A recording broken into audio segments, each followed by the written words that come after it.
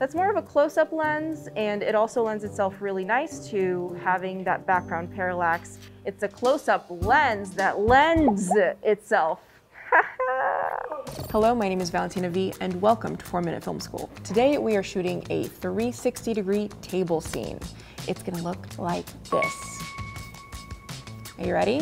Let's go. I'm going all in. Ugh.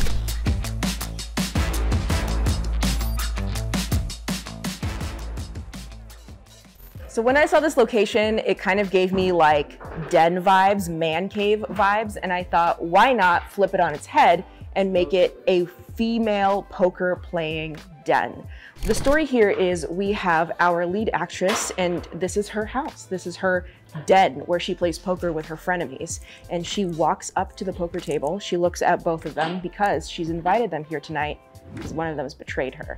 So first we see a pullback shot where we reveal the friends and then we see a full 360 around the table where we see each of their expressions and we try to determine which one is the enemy. So here we have our camera. It is the Alexa Mini and we have some rehoused Nikkor lenses and they were rehoused so they have a declipped aperture. In front of the lens, we added a filter of half glimmer glass. This is a diffusion filter and it really catches on all the highlights in the image and makes them have a little bit of shininess, a little bit of bloom. So I wanted that because this is supposed to be a glam, luxurious sort of look. We are complementing that with the glimmer glass. Having a Steadicam is really important for these shots because we can easily switch from pulling back to going around. And also the Steadicam has a center of balance. So we can do the shot where we look at down at the table and then up at the girls while moving around. It's a multi-axis move. Okay, so Zach, I'm actually really fascinated by Steadicams. I'm not a Steadicam operator. That's why we have you here. Mm -hmm. What's mm-hmm. like some terms that cinematographers should know when talking with their Steadicam operators? For sure. So on set, it really comes down to efficiency and being able to communicate as easily and quickly as possible is super helpful. So some of the terms like you were using before, like underslung and standard mode, that means the camera is up here in high or down here in low. We'll say low mode or high mode. Orbiting means that my lens is pointing at the subject while it's moving around the subject. Booming, which means coming up and down or jibbing and such like that. Dolly in or truck in, that means that we're actually coming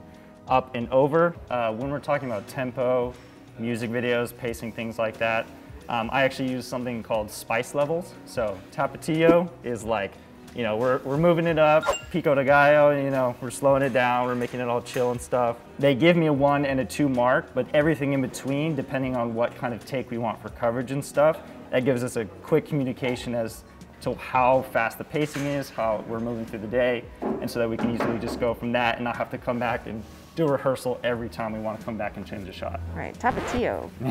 this is four minute film school, not hot one, Zach. so the main thing here with the production design is also tied to lighting. I'm trying to have as many practicals in the back. We have lights in the sconces up there. We have floor lamps. I want that space to feel a little bit dizzying when you're going around the 360 and having those pinpricks of light is really going to help. Because we're underslung on that camera, we are seeing a lot of the floor. That's why I had a rug put here because otherwise it would just be this like bright sort of consistent carpet and the rug really helps break that up. Just like when you're shooting with white walls, you wanna put some sort of pictures on it to break up the walls. The same thing with the floor, we put a rug here to break up the floor. We have a lot of practicals here and they have B7Cs inside so we can change their color temperature. But what I like about them too is that the shades are textured. So it's not just like a big white blast of light. Everything has a little bit of vintagey feeling to it. The reason I have the door open is because it makes sense for the shot. If she was in the bathroom, got a text message that one of her friends is being shady, she emerges from the bathroom and then the door is still open. Even though we don't see her physically emerging from the bathroom, we'll still see it in our little 360 orbit. The question is, what color temperature is it? Because it's a Nova, it's color temperature adjustable. So I could have either had it be tungsten and match all of the other practicals, or I decided to play around with it a little bit because our villain is sitting here and her hair light is red. We gelled that 300D2 with a red gel, so why not also have a little bit more red playing in the background? Because when we're in that orbit and we're all the way over here, what are we seeing? Just her, that red hair light, and a little bit from the door.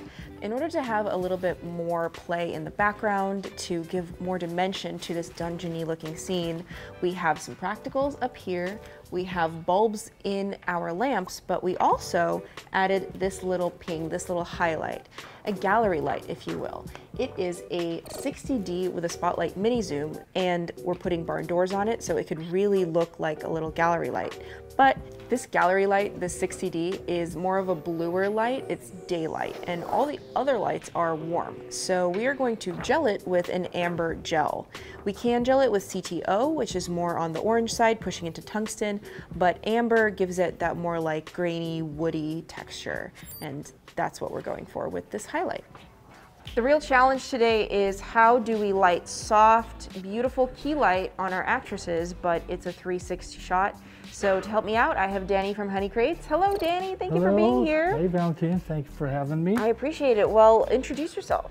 Danny Boldroff. I'm the owner of Honeycrates. So the challenge is how do we mount a light directly above the table and still have it soft? And one suggestion I came up with was the softbox, which we just created to fit the Nova P300C. We took the Space Light version and made it a box. One suggestion we had was to use a high roller, use a menace arm, and arm out over the, over the, directly over the table using the softbox. It's a, a quarter grid, crunchy grid, they call it, noisy grid. On the outside, comes with three different sets of targets. You can take the target out and have just a direct light from the aperture. Or we have a full grid, a half grid, or a quarter grid, depending on how much output you need. So Danny, what should we know about rigging a menace arm? Well, they did a very good job. One thing is counterweight. Whenever you put something out, you have to balance it over on this side. So using this, they tied the strap down to the stand and put a lot of weight on the stand. That's what offsets the weight that's sitting out about eight feet from the center point. The ratchet on top actually keeps the, the rail itself from bowing. And this strap actually is the counterweight that holds it back down to the stand. To separate each actress from the background, I wanted each of them to have a hair light. Mm-hmm. These two, it was easy because the walls are closer, so we could just put stands behind each wall and rig it on stands. But this one is a challenge because we can't have a stand there. We're literally seeing it in the shot. So one suggestion we have is taking a 10 inch C-clamp with baby pins because that's what the light takes as a receiver for the baby pin. Clamped it to the wood, existing wood on the structure. Put in cribbing in between so the clamp's jaws don't damage the wood. And that's and it's got a safety on from the light to the uh, C-clamp in case the light knob would come loose. The light can't fall, it's still attached to the C-clamp and you have a clean. Yeah. Yeah, and then they added that Fresnel lens in front of it and the barn doors. The Fresnel really concentrates that light in a beam directly behind the person's head. And then the barn doors close it up a little bit so it's not spilling all Off over the ground. else, yeah. So for the orbit shot, uh, I wanted to have this in frame. It wasn't in frame in the wide, but now that it's here, I wanted to add a little bit more light to this bookshelf. So we decided to use a light bridge. which is a mirror, high quality mirror reflector. And they have them, I think, from six by six, maybe up to two by two. And what's nice is this, is you can see it's very lightweight. It, it only takes a C-stand supported. I really like that it's right here because otherwise we would have had to rig this entire light up there and it's a lot. It's the 300D2, it has a spotlight mount on it and it has the CTO on it. The CTO is just to warm it up a little bit because when we bounce it and then it goes onto the furniture, we want it to be warmer to match all of the rest of the other lights. And what's awesome is that it's like so small, so you can definitely control that little spill. It's like a little slash. In days before, we would go to the store and just buy a glass Yeah, mirror. and if you mirror. dropped it, we'd all hear it and that it'd be into your mirror. This has a nice little mounting tool. It just slides in. You tighten it right here. And now you can put it into a C-stand or you screw it to the wall or whatever. Yeah, baby pin. It's It comes with this on already attached, and then these these things just slide off. In order to add a little bit more atmosphere to this, originally I wanted cigarettes and like little smoke coming up from the cigarettes, but we couldn't get those. So instead, for atmosphere, we brought in a hazer. This is the Mystic from Master Effects. And we just ran it at full power for about 10 seconds and then just wafted it through the whole environment. And after it settled, it just looked beautiful, diffused, and it really gave a glow to those highlights. Three, two, one, pull.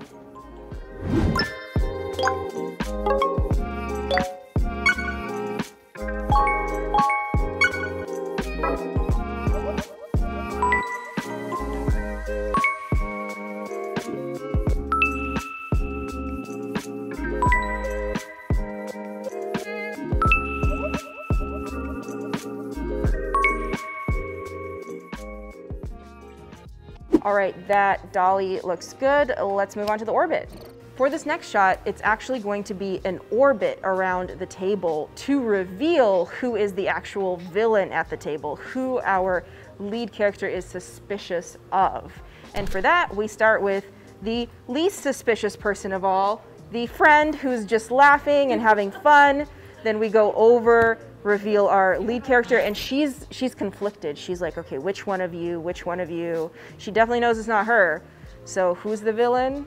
Right there. And she's just nervously looking in her drink. She's not sure about it.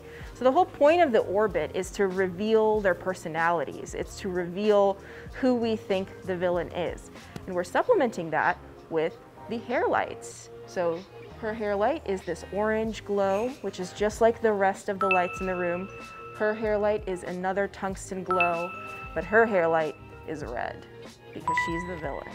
This whole side is open. I mean, look at it. There's nothing here except people. We can't show it, right? So in order to have a more fuller orbit, we start at the table and then we tilt up while orbiting. So it's a multi-axis move. So we're looking down at the table. That's where we start, sort of over your shoulder. You throw that green on there, and then and then we angle to your face, right? So then you throw the green, we angle to your face, so you start talking, laughing. Oh my goodness. We come over to you, you collect it, you collect it, you're suspicious of both of them. You're like, I don't know, I don't know. We go over to you and you're like, yeah, all right, let's go. Three, two, one, action.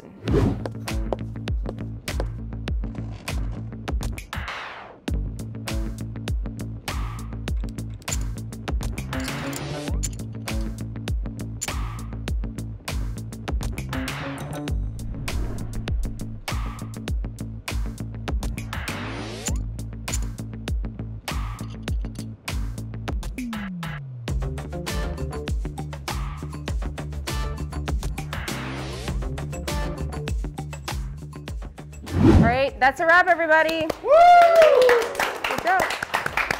And that is our episode on this soft overhead lighting in a 360 table scene. Cheers, Danny. Thank you for being here. Thank you, and uh, say hello to my little friend. Oh my Uh, God, this who is is? Bob. Uh, hi, everybody, and uh, be sure to check us out on uh, honeycrates.com and uh, follow us on uh, Honeycrates Instagram. And thank you very much for bringing me along. Oh, Bob, it was so nice to meet you. Oh, very nice to meet you too, V. I really appreciate all your help with the lighting. Oh, you're very welcome. Well, if you want to follow Bob or Honeycrates, you can do so in the links below. If you want to follow me, I'm there too. Please subscribe to the Aputure channel and like this video because we have a lot more coming up and uh, it's going to be a lot of fun. Until next time, happy shooting. Uh, is it okay if I uh, give you a hug? I'm, Um, I'm COVID. COVID. I'm COVID free. I'm COVID free. Dan, tell her I'm COVID free. Oh, okay. Sorry. Sorry. I just can't resist. Okay. Bye bye